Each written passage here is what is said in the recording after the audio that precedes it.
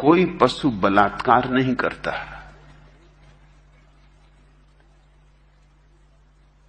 कोई पशु बलात्कार नहीं करता, सिवाय उन पशुओं को छोड़कर जो आदमियों के सत्संग में बिगड़ जाते। अजायब घर में रहने वाले पशुओं की गिनती मैं नहीं कर रहा हूँ, या जिन कुत्तों को तुम पाल लेते हो उनकी गिनती मैं नहीं कर रहा हूँ। लेकिन प्राकृतिक अवस्था में जंगल में कोई पशु बलात्कार नहीं करता। तुमने देखा होगा पशुओं को, पुरुष स्त्री के पास जाता है। जब तक स्त्री की यौन ग्रंथि एक विशेष गंध नहीं देती उसे, तब तक वो उससे संभोग नहीं करता। वो जो गंध है, वो स्त्री की स्वीकृति है। इसलिए पशु पुरुष स्त्री की योनि को सूंघते। जब तक स्त्री सूचना न दे, स्वीकार न दे, गंध से सूचना देती, एक खास गंध खबर दे देती पुरुष को कि वो राज़ी है।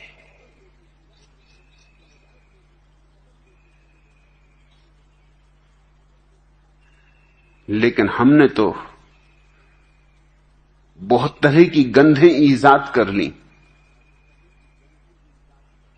हमने इतनी गंधें ईजाद कर ली हैं कि आज तय करना मुश्किल है कि कौन सी गंध किस व्यक्ति की सहज गंध है। पुरुषों की स्त्रियाँ भी जब किसी पुरुष में उत्सुक होती हैं संभोग के लिए तो उनकी योनि से वैसी ही गंध उठती है, जैसी गंध पशुओं की योनियों से उठती लेकिन असंभव है उसे पहचानना। साबुने हैं, डिओडरेंट हैं, परफ्यूम हैं, ये सब छिपाने के उपाय ये छिपाने के उपाय हैं ताकि पता न चल सके कि स्त्री हाँ भर रही है। ये हमारी जालसाजियाँ हैं। ये जालसाजियाँ हमें करनी पड़ी, क्योंकि ये हो सकता है कि तुम्हारे घर एक मेहमान आए और तुम्हारी पत्नी की योनि से गंध उठने लगे उस मेहमान के लिए। फिर तुम क्या करोगे?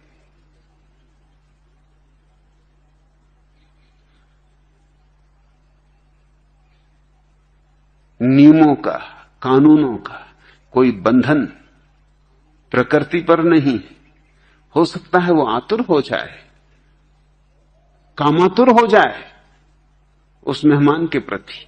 तो तत्क्षण उसका शरीर गंध देगा, लेकिन वो गंध तुम्हारी सारी सामाजिक व्यवस्था को तोड़ देगा। तो उस गंध को छिपाना ज़रूरी है। तो हम गंधों की परतें लेपे हुए हैं अपने ऊपर, फिर उनके ऊपर वस्त्रों को लपेटे हुए हैं। ताकि पता ना चल सके। तो ऊपर ऊपर शिष्टाचार चलता रहेगा। अब जैसे अगर कोई पुरुष किसी स्त्री में उत्सुक हो जाए तो उसकी जन्नेन्द्री तत्क्षण खबर दे देगी कि वो उत्सुक हो गया है। इसलिए वस्त्रों में ढांक रखना ज़रूरी ताकि ऊपर ऊपर वो शिष्टाचार बताता रहे और भीतर भीतर जलता रहे काम अग्नि में। हमने मनुष्य को अप्राकृतिक कर दिया है। पाश्विक नहीं अप्राकृतिक। कोई पशु अजायब घरों को छोड़ के होमोसेक्सुअल नहीं होते समलैंगिक नहीं होते। हाँ, अजायब घरों में हो जाते। अजायब घर की अजीब स्थिति इसलिए तो उसको अजायब घर कहते। अब बंदरों को बंदरों के साथ रख दिया। उनको बंदरियाँ मिलती नहीं।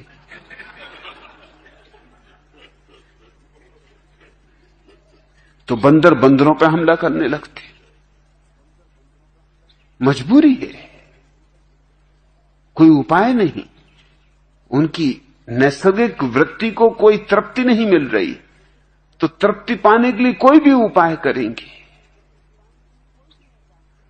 जो हम मनुष्यों के साथ करते हैं, वही हम पशुओं के साथ करने लगे।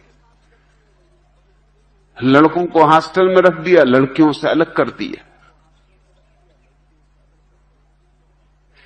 चौदह साल की लड़की माँ बनने के योग हो गई। उसकी शरीर की ग्रंथियाँ संभोग के लिए योग हो गई। चौदह साल का युवक संभोग के योग हो गया। अब इन दोनों को हमने अजायब घरों में बंद कर दिया। लड़का रहेगा लड़कों के हॉस्टल में, लड़की रहेगी लड़कियों के हॉस्टल में, और बड़े सख्त पहरे हमने बिठा दिए कि लड़कियों के हॉस्टल में कोई लड़का प्रवेश नहीं कर सकता।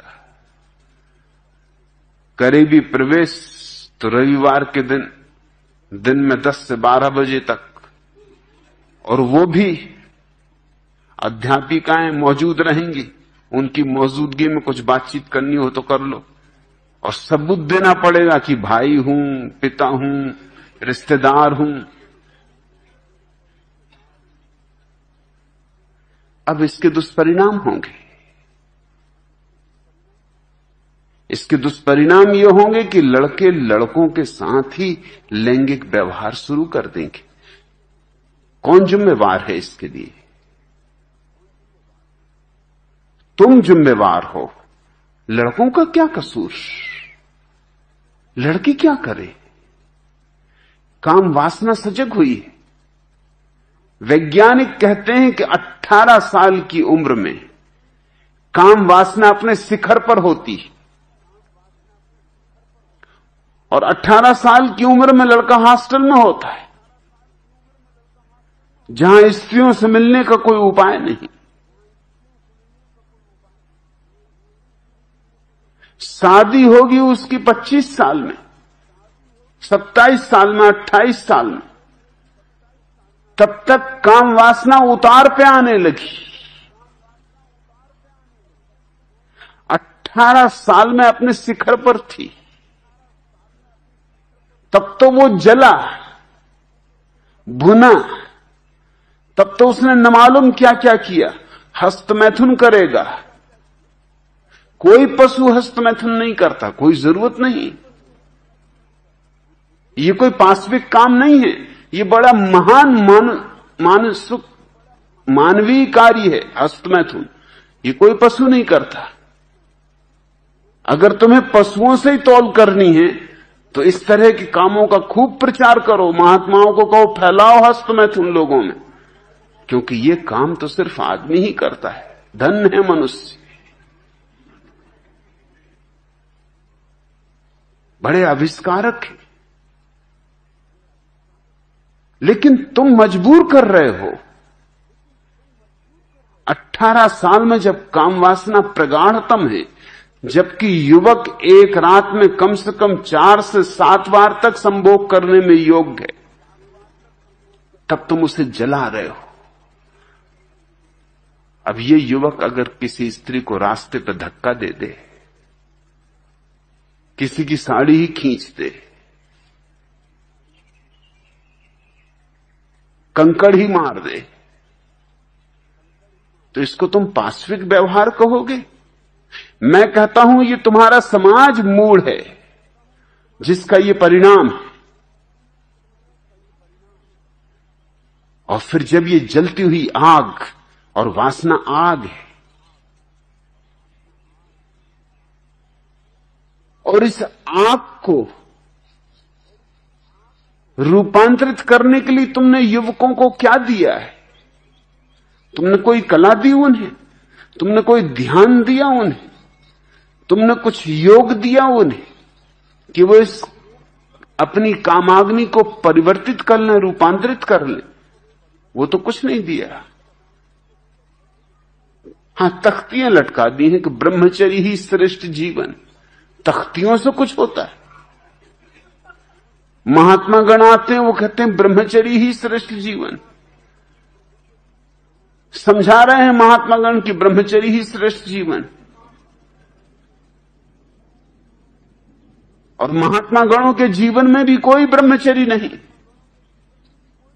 सबको उनका जीवन भी पता है। तुम्हारे ऋषि मुनियों के जीवन में कोई ब्रह्मचरी नहीं था। छोड़ो ऋषि मुनियों के, तुम्हारे देवी देवताओं के जीवन में कोई ब्रह्मचरी नहीं। और इन्हीं देवी देवताओं की पूजा चलती, इनको तुम पाश्विक नहीं कहते, यस। और आदमी को पाश्विक कहते हो। तुम्हारे पुराण उठा के देखो, तुम्हारे धर्मशास्त्र जला डालने योग्य जिनकी तुम पूजा करते हो। अगर तुम्हें जड़ बदलनी है तो वहाँ जाना होगा। तुम्हारे सब देवी देवता भ्रष्ट। स्वर्ग में तुम्हारे देवता करते क्या है? नचा रहे हैं अप्सराओं को। उर्वशी नाच रही, मैनका नाच रही।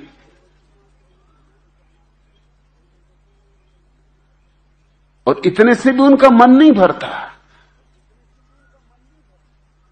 तो ऋषि मुनियों की पत्नियों को सताने आ जाते।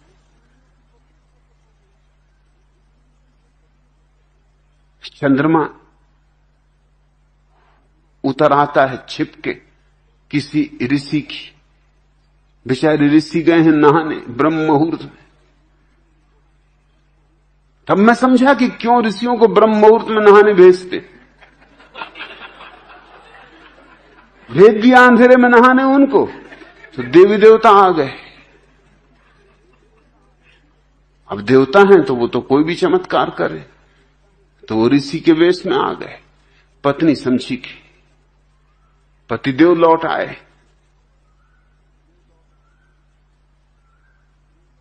वो तो बाद में पता चला जब पतिदेव लौटे नहा धो के। मगर तब तक सब मामला खत्म ही हो चुका है।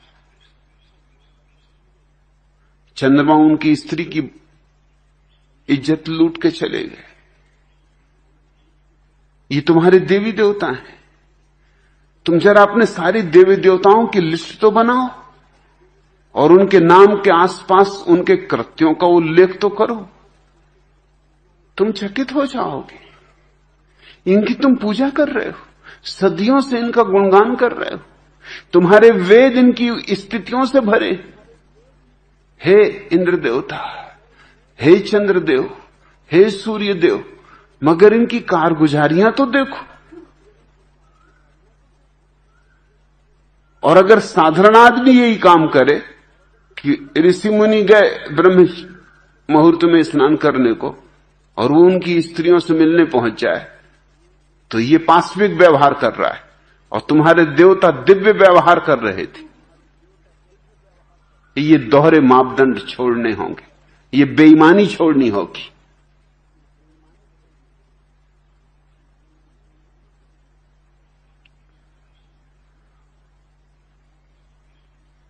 पशुओं में न तो हस्त मैथुन है, न बलात्कार है। हाँ, लेकिन दोनों बातें घटती हैं पशुओं में भी अजायब घर में।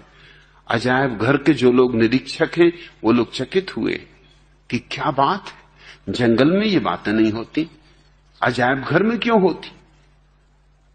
बात सीधी साफ़ है, इसके लिए कोई बहुत बड़े शोधकारी करने की ज़रूरत नहीं है। छोटी मोटी बुद्धि का आदमी भी समझ ले कि बात सीधी साफ़ है। तुमने यहाँ वही काम कर दिया जो तुमने आदमियों के साथ किया। तुमने बांट दिए, यहाँ बंदरों को एक कटघरे में कर दिया, बंदरियों को दूसरे कटघरों में कर दिया, उपद्रव शुरू हो जाएगा। अड़चने शुरू हो जाएँगी। स्त्रियाँ भी हस्त मैथुन में पड़ जाती, मगर स्त्रियाँ पकड़ी नहीं जाती, उतनी आसानी से नहीं पकड़ी जा सकती, जितनी आसानी से पुरुष पकड़े जा सकते, क्योंकि स्त्रियों की जो यौन यंत्र की व्यवस्था है, वो आंतरिक है, पुरुषों की यौन यंत्र की व्यवस्था वहाँ है, वो जल्दी पकड़े जा सकते हैं। इसलिए लोग सोचते हैं आमतौर से अगर दो पुरुषों में बहुत दोस्ती हो और गले में हाथ डाल के और फिल्मी गीत गाते हुए तुम उनको जाते देखो तो शक होता है। मगर दो स्त्रियाँ खूब सहेली हो गहरी तो तुम्हें शक नहीं होता। क्यों? उनको कहते वो सहेलियाँ हैं।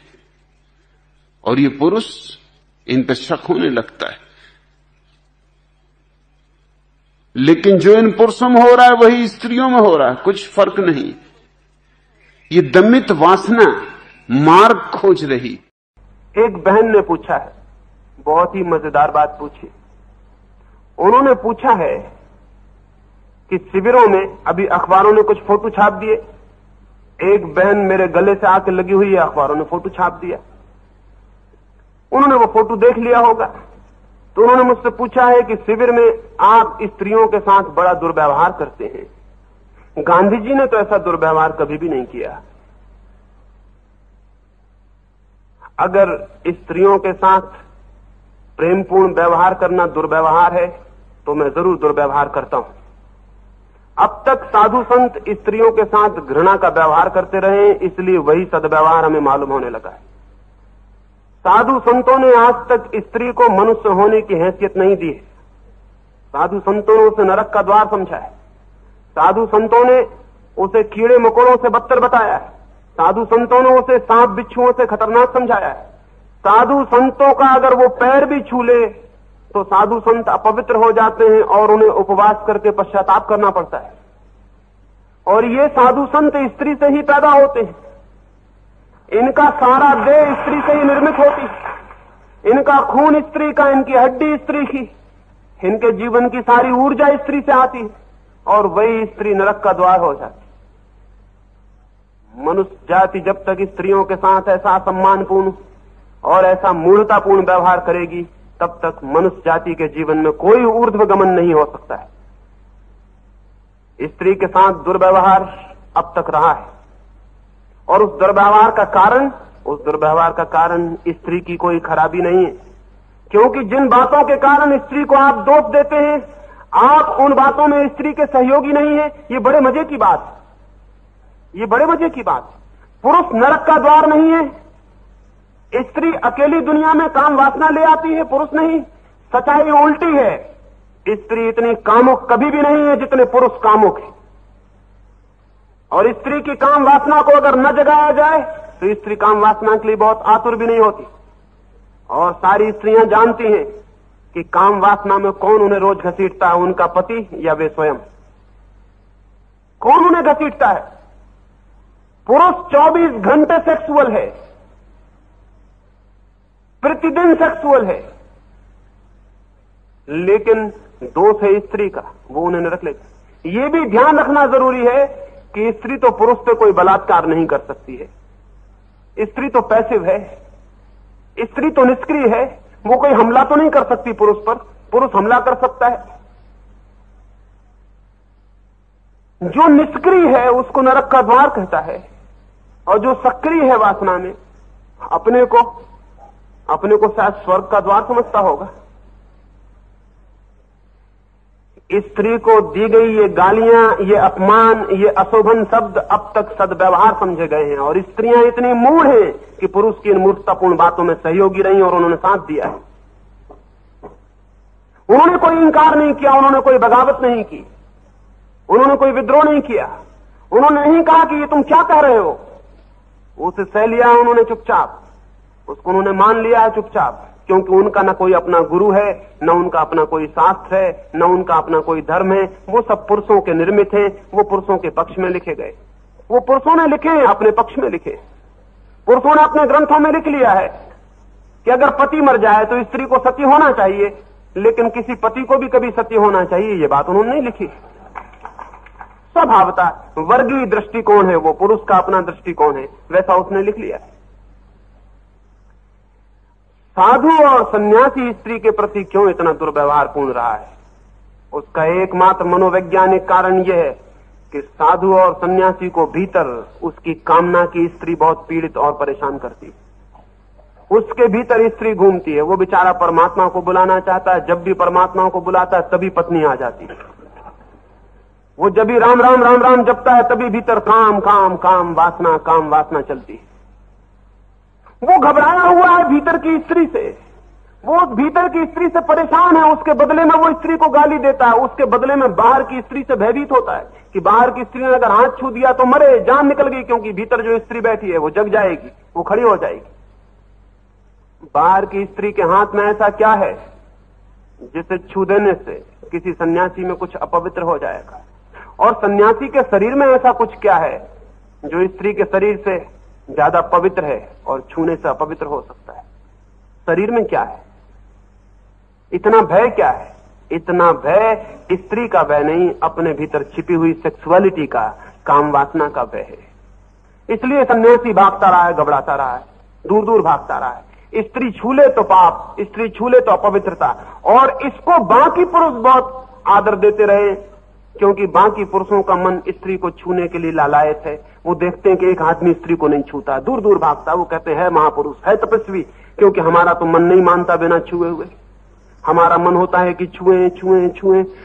किसी तरह रोकते हैं, संस्कार, शिष्टाचार, सब तरह से अपने को संभालते हैं, लेकिन मौका मिल जाए, भीड़ मिल जाए, मंदिर हो, मस्जिद हो, गिरजा हो तो थोड़ा बहुत धक्का दे ही देते हैं। वो दूसरी बात लेकिन सामने शिष्टाचार रखते हैं दूर दूर बच के चलते हैं। इतना बच के चलना सबूत किस बात का है? इतना बच के चलना छूने की इच्छा का सबूत है। और किसी बात का सबूत नहीं। इतनी घबराहट सबूत किस बात का है? तो बाकी पुरुष देखता है कि यह है सन्यासी, ये महाराज। ये स्त्री को छूने नहीं देते, दूर से चिल्लाते हैं दूर दूर दूर दूर दस कदम पा, दूर रहना। अभी मैंने सुना कि एक महाराज के यहाँ बंबई में किसी स्त्री ने छू दिया तो उन्होंने तीन दिन का उपवास किया। और उससे उनकी इज़्ज़त बहुत बढ़ी, क्योंकि काम वासना से भरे हुए समाज में ऐसे ही लोगों की इज़्ज़त हो सकती है। काम वासना से भरे हुए समाज में ऐसे ही लोगों की इज़्ज़त हो सकती है, क्योंकि हम काम वासना से भरे, हमें लगता है कितना मान त्याग किया कि स्त्री ने छुआ और उन्होंने इंकार कर दिया कि नहीं छूने देंगे। ये हमारी सेक्सुअल मेंटेलिटी का सबूत है। और इसको अगर सदव्यवहार समझते हैं तो मैं स्त्रियों के साथ ऐसा सदव्यवहार करने से इंकार करता हूँ। लेकिन बड़े मज़े की बात। बड़ी आश्चर्य की, एक बहन ने पूछा है। किसी पुरुष ने पूछा होता तो मेरी समझ में आ सकता था। ये बहन बड़ी मर्दानी होगी। इसकी बुद्धि पुरुषों से निर्मित होगी। वो कैंप में जो बहन मेरे आके हृदय से लग गई उस क्षण में उसकी प्रार्थना, उसका प्रेम, उसका आनंद, उसकी पवित्रता अद्भुत थी। अन्यथा हज़ार लोगों के सामने वो मेरे हृदय से आके जुड़ जाने की हिम्मत भी नहीं कर सकती थी। उसका पति बगल में खड़ा था, वो घबराता रहा। अभी उनके पति मुझे मिले और कहने लगे, मैंने इससे पूछा कि पागल तूने ये क्या किया? उसने कहा कि मुझे तो पता ही नहीं था। ये तो जब मैं अलग हट गई, तब मुझे ख्याल आया कि लोग क्या सोचेंगे। लेकिन उस क्षण में मुझे सोच विचार भी ना था। उस क्षण मुझे लगा कि कोई दूर की पुकार मुझे खींच रही है और मैं पास चली गई। उस स्त्री को मैं धक्का दे दूँ, इस ख्याल से कि कोई अखबार का रिपोर्टर फ़ोटो ना उतार ले। उसे कह दूँ कि नहीं, दूर। उसे दूर करके मैं सिर्फ़ इतना सिद्ध करूँगा कि मेरे भीतर भी वासना उद्दाम वेग से खड़ी अन्यथा भय क्या है? अन्यथा डर क्या अन्यथा चिंता क्या वो स्त्री कहीं कोई एकांत अंधेरे कोने में मुझसे गले आके नहीं मिली थी। हज़ार लोग चारों तरफ़ खड़े थे। वहाँ फ़ोटो उतारी जा रही थी। मुझमें भी थोड़ी बुद्धि तो है।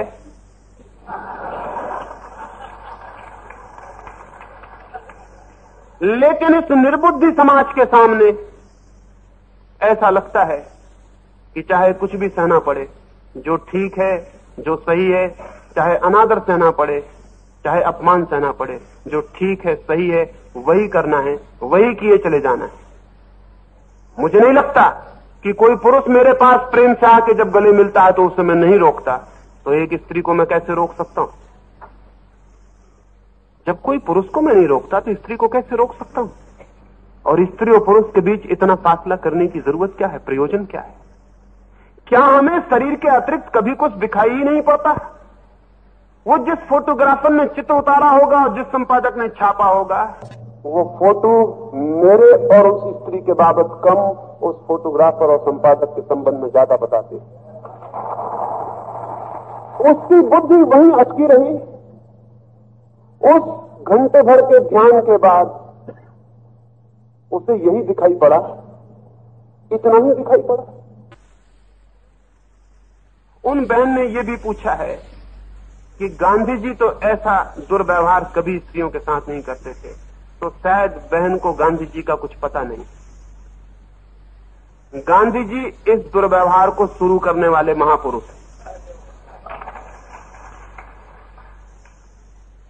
हिंदुस्तान में गांधी ने पहली बार स्त्री को सम्मान दिया है। हिंदुस्तान के सत्पुरुषों में, महापुरुषों में स्त्री को सम्मान देने वाले गांधी के मुकाबले सिवाय महावीर को और कृष्ण को छोड़कर और कोई भी नहीं। बुद्ध भी नहीं। बुद्ध तक भयभीत हो गए इस बात से जब स्त्रियों ने आके कहा कि हमें भिक्षुणी बना लो तो बुद्ध ने कहा कि नहीं नहीं, ये नहीं हो सकता। बुद्ध भयभीत हो गए इस बात से कि स्त्रियाँ अगर भिक्षुणी बनेंगी और भिक्षुओं के साथ रहेंगी तो खतरा है। महावीर ने ज़रूर कोई चिंता नहीं की, बात ही नहीं की स्त्रियों को भिक्षुणी बनाया और हैरान होंगे, जान के आप। कि महावीर के भिक्षु थे केवल बारह हज़ार और भिक्षुणियाँ थी चालीस हज़ार। न मालूम कितने लोगों ने महावीर पर ऐतराज किया होगा कि चालीस हज़ार स्त्रियों से घिरा हुआ है यह आदमी। ज़रूर ऐतराज किया होगा, क्योंकि आदमी सदा आप ही जैसे हमेशा से थे आपसे बदतर। क्राइस्ट पर लोगों ने शक किया कि मेरी मैगदलिन नाम की वैश्या इसके चरणों में आके चरण छूती लोगों ने कहा कि नहीं, स्त्री को चरण मत छूने दो। क्राइस्ट ने कहा, लेकिन स्त्री का पाप क्या है कि चरण न छुए? लोगों ने कहा, स्त्री थी तो भी ठीक, ये वैश्या है। क्राइस्ट ने कहा, वैश्या मेरे पास नहीं आएगी तो कहाँ जाएगी? और अगर मैं वैश्या को इनकार कर दूँगा तो फिर वैश्या के लिए उपाय क्या है, मार्ग क्या है? विवेकानंद हिंदुस्तान लौटे, निवेदिता साथ आ गई और बस हिंदुस्तान का दिमाग फिर गया। और सारे बंगाल में बदनामी फैल गई कि स्वामी और सन्यासी और ये ये निवेदिता कैसे साथ? निवेदिता की पवित्रता को, निवेदिता के प्रेम को किसी ने भी नहीं देखा। आज जो सारी दुनिया में विवेकानंद का काम फैला हुआ दिखाई पड़ता है, उसमें विवेकानंद का हाथ कम, निवेदिता का हाथ ज़्यादा है। निवेदिता भी दंग रह गई होगी।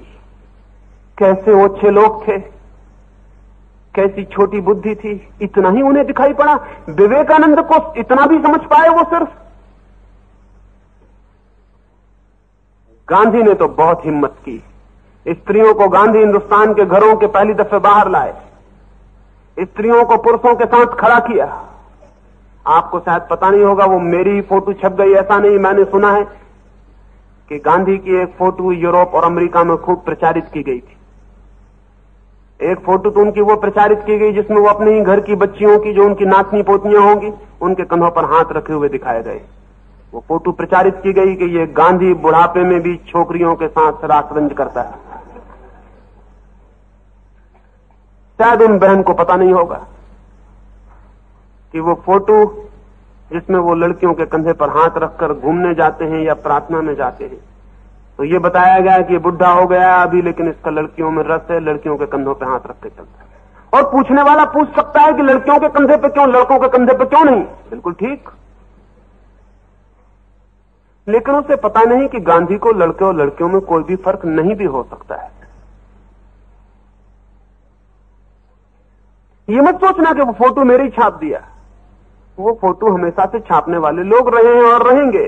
अपनी बुद्धि के अनुकूल ही वे कुछ कर सकते हैं, उससे ज़्यादा करने का उपाय भी तो नहीं उन पर नाराज़ होने का कोई कारण भी तो नहीं और शायद उन बहन को पता नहीं होगा कि गांधी अपनी अंतिम उम्र में बुढ़ापे में एक 20 वर्ष की नग्न युवती को लेकर छह महीने तक बिस्तर पे सोते रहे। तब उनको पता चलेगा, इतना दुर्व्यवहार अभी मैंने किसी स्त्री से नहीं किया है। छह महीने तक एक नग्न युवती के साथ गांधी बिस्तर पर सोते रहे। किस लिए? इस बात की जाँच के लिए कि क्या मन के किसी कोने कातर में, मन के किसी भी अंधकारपूर्ण कोने में स्त्री की कोई वासना तो शेष नहीं रह गई। जो रात में नग्न स्त्री को अकेले में एकांत में पाकर, बिस्तर पे सांस पाकर जाग आए तो मैं परीक्षा कर लू, उससे उससे मुक्त होने का कोई उपाय कर? लू और उस स्त्री की पवित्रता की कल्पना करते हैं? जो छह महीने तक गांधी के साथ नग्न सो सकी, और उसने पीछे कहा कि गांधी के साथ सो के मुझे छह महीने में ऐसा लगा, गांधी जैसे मेरी माँ है।